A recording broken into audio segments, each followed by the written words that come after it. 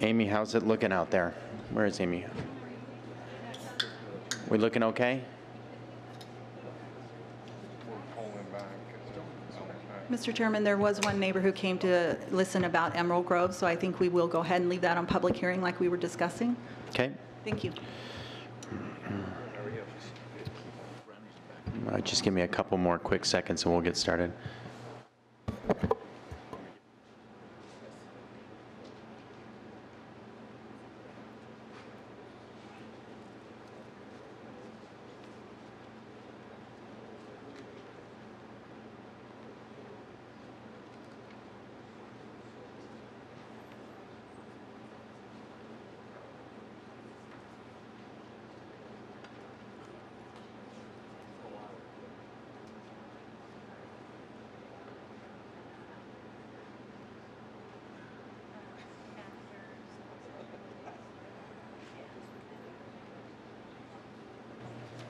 All right, good evening and welcome to the Planning Commission meeting for Wednesday, October 4th. I'll go ahead and call for a roll call. Chairman Christopher Sippel, Present? Vice Chairman Brian Anderson, Here. Commissioner Carl Bloomfield, Commissioner David Cavaney, Here. Commissioner Greg Froelich, Here. Commissioner Brian Johns, Here. Commissioner Joshua Ayler, Here. Alternate Commissioner Seth Banda, and Alternate Commissioner Mary Harris. Here. Thank you. I- I'll go ahead and uh, call for an approval of the agenda. Vice Chair?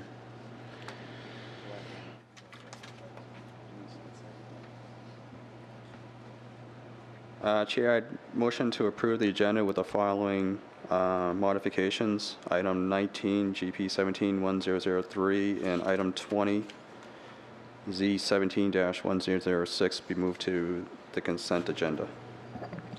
Thank you. Um, All right, uh, we'll do a communication from citizens. At this time, members of the public may comment on matters within the jurisdiction of the town. You have to vote on that? No, we're good. Yep, yep. Uh, Uh, Item 21, we were hoping to postpone it. Yeah, I was going to do that Do it when at we the- get to it. perfect, awesome. Yep, okay, great. Um, All right, we'll do communication from citizens, please. At this time, members of the public may comment on matters within the jurisdiction of the town, but not on this agenda. Uh, The commission's response is limited to responding to criticism, asking staff to review a matter, uh, or ask that a matter be put on a future agenda. Is there any citizens here that would like to speak on items not on the agenda? All right, seeing none, thank you.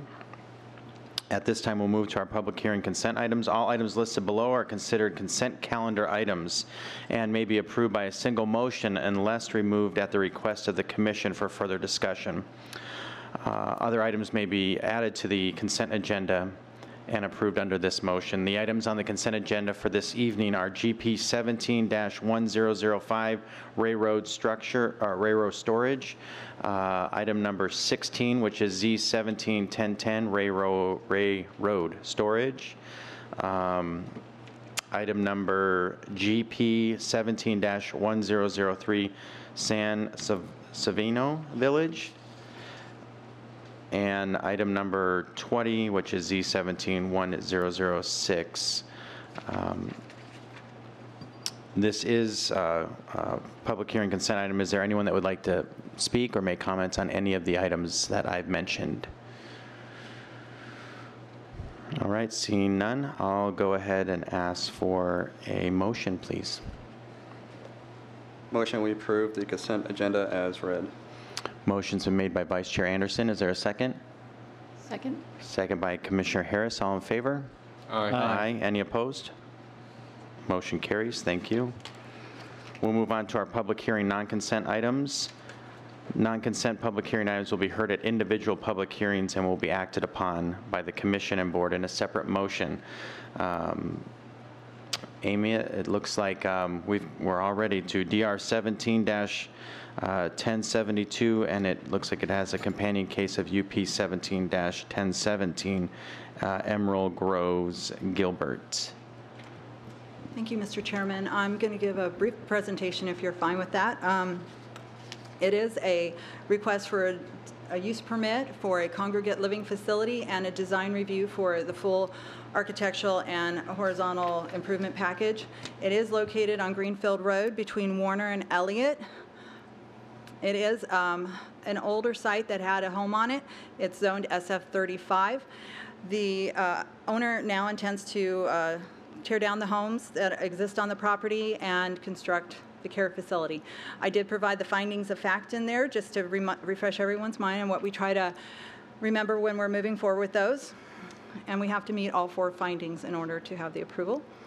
Then the site plan, I will note on the site plan, you do see a few little red blobs, and those are tied to the um, cons- con- um, conditions of approval. I did add a condition of approval about, there are, they wanted to do a flush, uh, no vertical curb, um, to make it easier for elderly people to access the facility, but uh, to allow for car stops, we do not allow wheel stops except on ADA spaces, so we are using flower pots that are positioned along the way to help stop cars and provide a spotted color and some interest. And then um, we're also going to, official word is scooch, uh, the uh, refuse enclosure just to the west a little, so a garbage truck has a little bit straighter shot at pickup. You can see the pots that we were proposing, as well as the benches and the gate entry features for the emergency access drive that is required around the full facility. Uh, Landscape plan, and one thing I will point out is we did work very diligently with this applicant to um, do something a little different with their uh, emergency access drive. We do have uh, artificial turf in a sort of a center strip going throughout that is still drivable for the uh, all-weather road that's required by by fire, but it also creates a, a walking track for the residents of a really nice clean surface that is, um, you know, all weather and compacted. And then there's benches located along the way, so every so often you can sit down, but you can get your daily exercise in. And there's a lot of colorful trees and shrubs along there for them too. So it was a really nice little feature. Um, you can see that grading and drainage is pretty standard. And then the materials, the applicant did provide a full-size set for your elevations up there because the um, elevations provided in the packet look a little more brown, and I do have the colors and materials here with me, and as you can see, they are gray. So we just wanted to be clear of what was being proposed, and that's why he brought the drawings with you, and um, we do have those for you if you need them. Um, It is a one-story facility, 37 beds. Um, They do have other facilities locally in the area and have done well with them, and um, there's not a high volume of uh, traffic or anything associated with this project with only 37 beds. Um, You can see from the floor plan how the different wings and the rooms are located on the wings, and then the- each of the wings looks out on its own little courtyard, which is a really nice feature. And then the lighting plan, you'll notice that we do have a few conditions there. There were two lights on the walls right near the property line, which were not meeting the requirements for the candle foot at the property line, so those are being removed. And then also, we asked that the parking lot lights be at um, 3,000 K instead of 4,000 K, which 4,000 you tend to find in a commercial center. 3,000 tends to be more in keeping with residential. And so um, we did ask that they reduce that a little bit, so we don't want to blast the neighbors out with the bright lights. So for the findings of fact, we, uh, staff believes that we met the findings of facts for the use permit, and we do make the recommendation of approval. And then for the um, design review, we did have fi- those five additional um, conditions of approval with it. But overall, that we feel the applicant has met the intent and has worked well with staff to um, meet all the code requirements. Thank you. Amy, thank you. This is a public hearing, so the applicant has an opportunity to speak at this time. Is the applicant here, and would they like to make a brief presentation? As the applicant um, sets up, I would say that if you're wanting to speak on this item, there are yellow cards in the back. Uh, We ask that you complete that card and bring it up to the staff here so that we can uh, acknowledge you up at the dais. Good evening. Good evening. Uh, Amy suggested that there might be some concerns regarding our mechanical space that we have on the roof. And as you can see, we have sufficient depth in the Excuse me, Chairman, can you please have our resident bring the mic down just a bit so Yep. we can record your voice? Thank you. Perfect, thank you. Better? Better, yes. As you can see that we have sufficient height in our attic space to reduce any kind of over, above the parapet with those mechanical units, that we're going to be well below those parapet levels to be 10 to 12 inches lower than that for those units that we have placed in that mechanical well. Okay. Are there any questions from, go ahead, I Commissioner guess, how- excuse me, Commissioner, thank you. How how can we see that? I'm- I'm- I guess I'm trying to see it. I don't see a a finished surface on the elevation, and I don't see a depth in the, in the elevation view. Is there any, No, there is no section cut that actually would show that. But if you look at where that parapet section is, if you look at that, the lower parapet where, if you look on elevation to the, that top elevation, where Okay. the notes are, that where the indication for the parapet is, those units are basically where you see the roof, and the vertical portion of the parapet would be the height of where those units would be. okay. um, Yeah, I- and I see them both. I I know the the smaller one on the right, on the cutout is just so low. I I guess without seeing the, the actual roof line dashed in there, it's hard to see. I think that, that's our concern. I mean, we hear what you're saying. We hear that you're you're confirming to us that we'll be below it. We're having a hard time believing it with what we're seeing. That's all I'm saying, We can provide Amy with Yeah. that section Okay. there, so you That'd be can great. see that actual section. That'd, that'd be great. That'd be important, I think, for us just to be comfortable that we're not going to see equipment, that's all. Very good. Yeah. Other questions for the applicant? Commissioner Ayler? Um, yeah, I guess a little, I have a, well, I guess point one, I know you and your client came in front of me as a zoning hearing officer, and I just wanted to make clear that that it was brought up again at that point that it's only emergency access drive. Yes, for fire department For the fire department only? Yes. And so I know he really wanted to use it for deliveries, but, No, he never intended to do that. He misspoke. oh, okay. And after our meeting, I brought that to his attention, that, no, we're not using that for any kind of vehicles other than the fire department. Okay, well, that's good. I'm glad he corrected himself. Um, so I guess I'm and looking at the well. I mean, I guess overall, um, architecturally, I'm not the biggest fan of wells. I know we the reasons for them, but. Um, is there a, a reason why? I mean, you kind of gave a little more height to around the, the courtyard area to the other one drops lower. Why not just give it a little more, at least give it the same detailing? The, the difference is, is because of where the roof comes to the ridge on where the, where the courtyard area is, that was because of that opening as we went down onto the roof. There was no need to keep that parapet level at that height. So that we reduced that, so that we didn't have that bulky parapet around the uh, courtyard area. So, so if I'm looking at the east elevation, I'm not going to see either one of those walls No, coming out, kind of creating a wing outside of the, your nice, your, your Yeah. east elevation I like.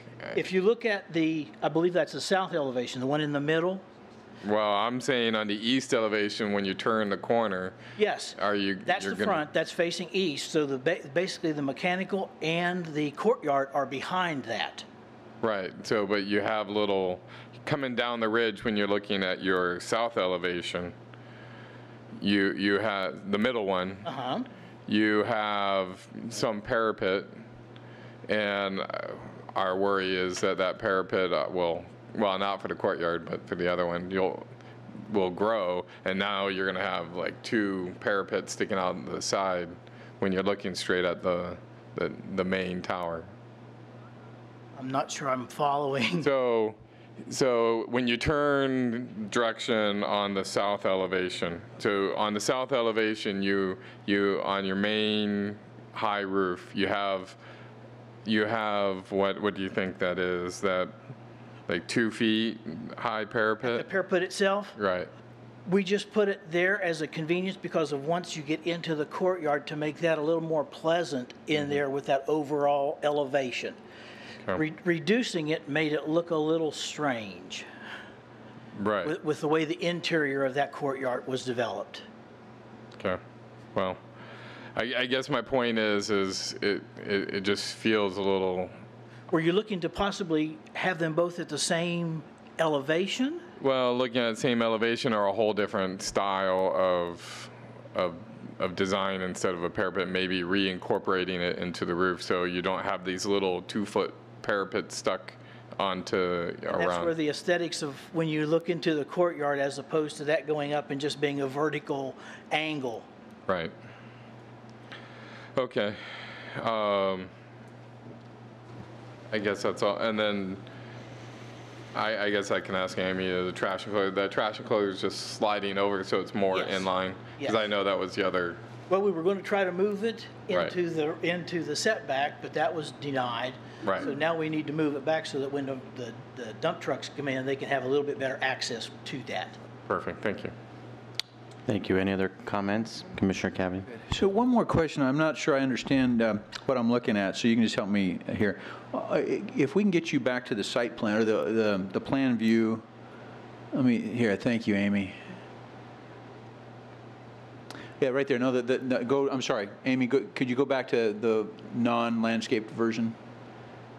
Uh, There, that one. Okay, so along the perimeter path that is for emergency only, there are some, some rectangular boxes down the center that almost looks like underground storage piping at first, but, but I see equalization pipes going over. What, what is that? What is that depicting? Storage buildings, Those are store, lawn equipment, yard equipment. Oh, no, no, I mean the, um, oh, here, here, here. Let me show I you. think that's the artificial turf. Is that what the, hang on. Does yours guys work over there? No.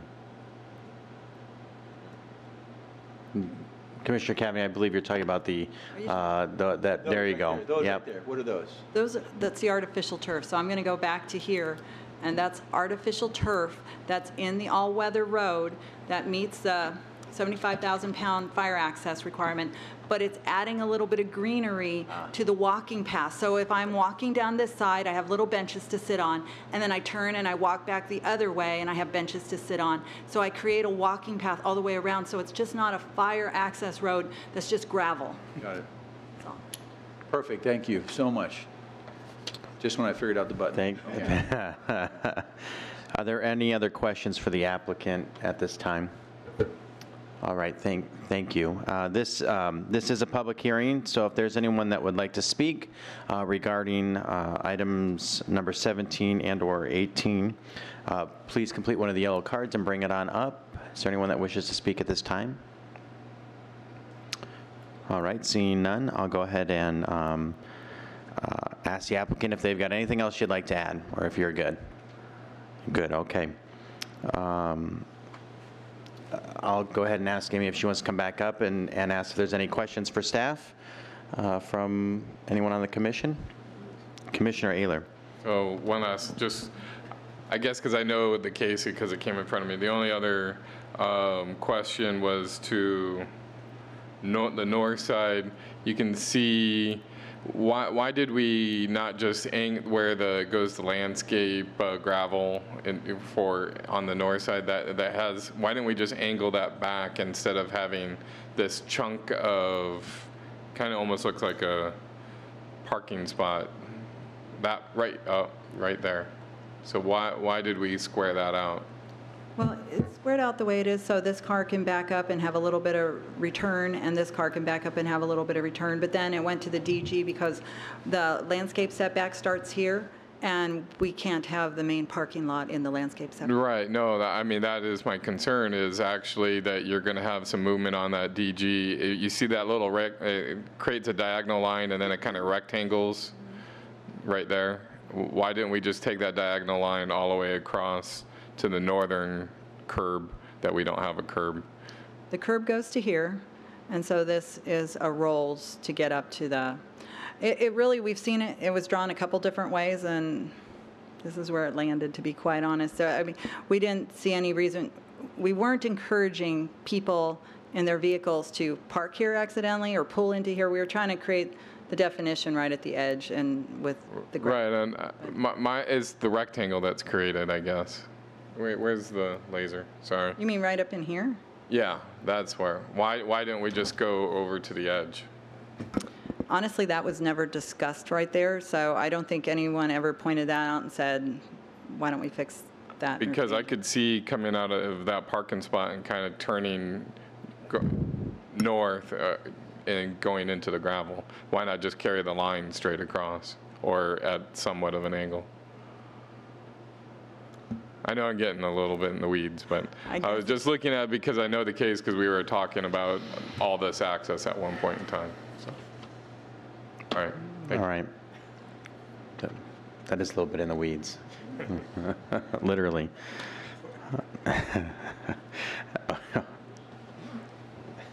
Okay. Um, If there's no, is, um, I'll go ahead and bring it back up to the dais. Is there any comments or um, Commissioner uh, Harris? Just one question about the paint colors. Mm-hmm. I know you told us that the rendering that you gave us up here on the paper is the mm-hmm. correct colors. Yeah, and I'm looking at them on the screen too. Um, Is the, I'm just curious, what color is the main color that's going to go on most of the building? Is it the lighter gray or is it the darker gray? It would be the lighter color, Commissioner. Okay, thanks. All right, thank you. Thoughts, comments? Anyone like to start? Commissioner Johns? I, I did. Uh, Just quickly on the elevations, I was looking at the, um, I guess I didn't. it has stone over the top of the stucco.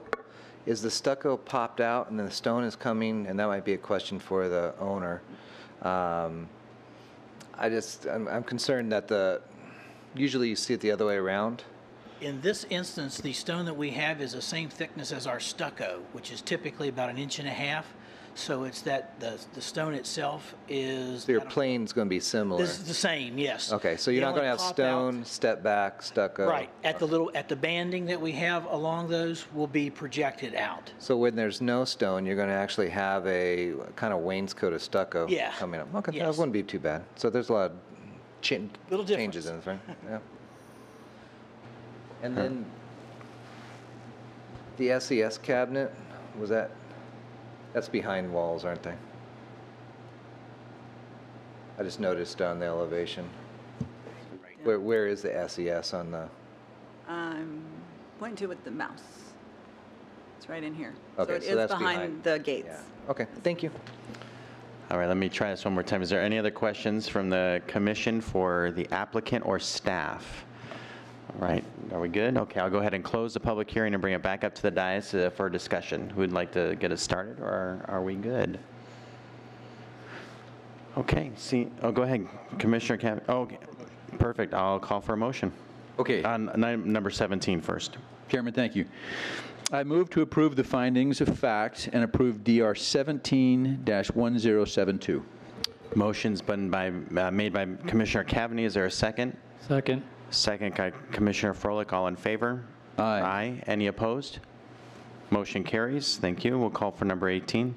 Uh, Chairman, I move to make, uh, I move to, yeah, make the findings of fact and approve UP 17-1017. Motion's been made by Commissioner Cavaney. Is there a second? Second. Second by Commissioner Froelich, all in favor? Aye. Any opposed? Motion carries. Thank you. That's going to take us to item number 21. At this time, we want to continue item number 21, which is Z16-07 Wireless Communication Facility, uh, to the December 6th meeting.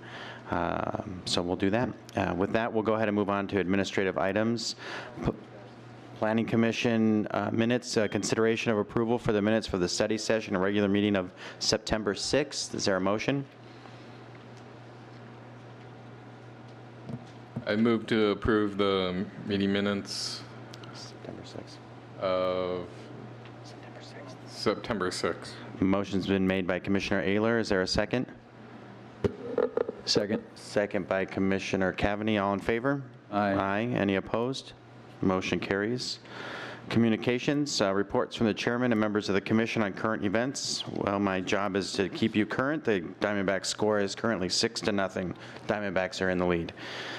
Uh, Yeah, that's. I was TiVoing that. Yeah, I know. Um, And then, We just want to confirm um, who made the motion for the item 21 for December 6th postponement? com- uh, oh, I didn't. I just, I did. Right. So yeah, if you could make. I'll the jump, I'll jump back to that one. Thank you, 6th. town attorney, for keeping me uh, in check.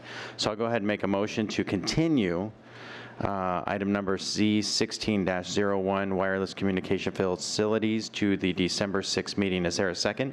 Second? Second by Commissioner Harris. All in favor? Aye. Aye. Any opposed? Thank you. Sorry about that, guys.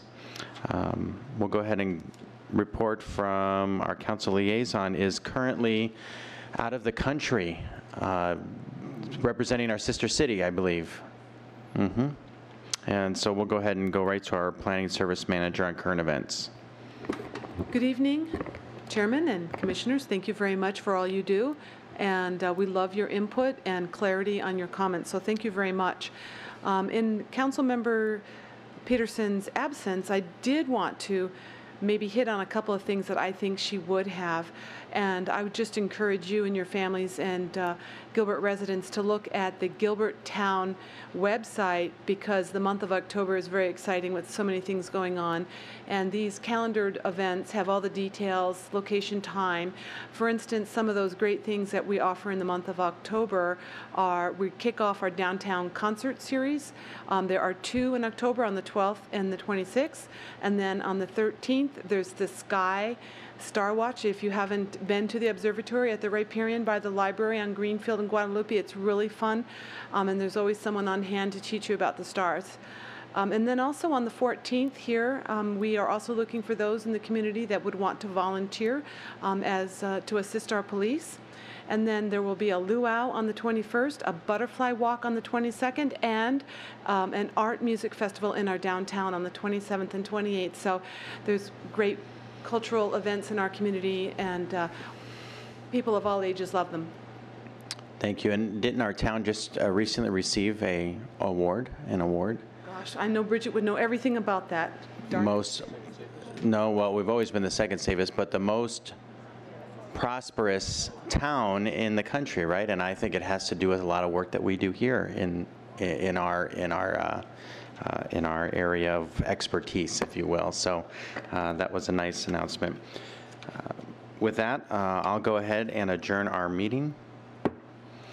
When, I will reopen, so we're going to run right into our, back into our study session. So I'll reopen the study session at this time. And it looks like we are all the way to item number five. G, GP 17-1015 and DR 17-1126. This is all Watermark at Gateway Place. And Amy, before we get started on this one, I do have to declare a conflict. Thank you. All right, thank you, Mr. Chairman, members of Planning Commission. Um,